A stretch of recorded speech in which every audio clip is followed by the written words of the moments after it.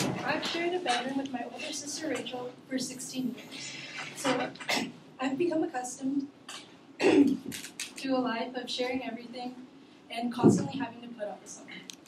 Finally, she went off to college, leaving me in an empty room to rejoice. Honestly, though, I thought I wouldn't miss her, but given enough time, I found that I did. Those of you with older siblings might have experienced this.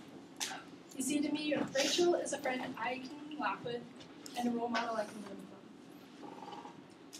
learn from.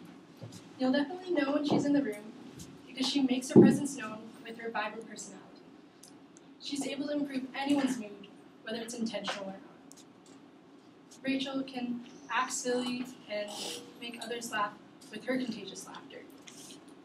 I remember specifically several instances where we'll be sitting at the dinner table she's laughing at something stupid on the TV that's not even funny, and I can't help but laugh with her. And it's just us two laughing for no reason, and our parents giving each other confused looks. I know that whenever I'm with her, I can count on having a good time.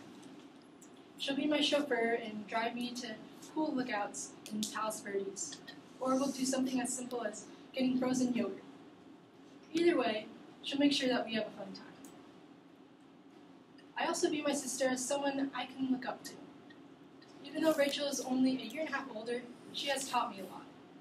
And the lessons couldn't have started earlier, as she showed me how to crawl out of my crib. Once she was old enough to have a fashion sense, she ensured that my clothes would match. Then in high school, she warned me about the good and bad teachers.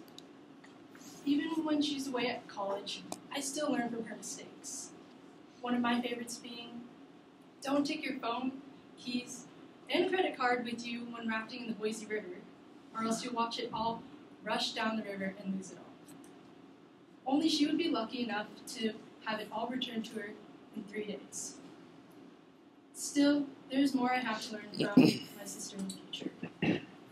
I know I can look back at these memories, these good memories, and just, I can't wait for new ones to come.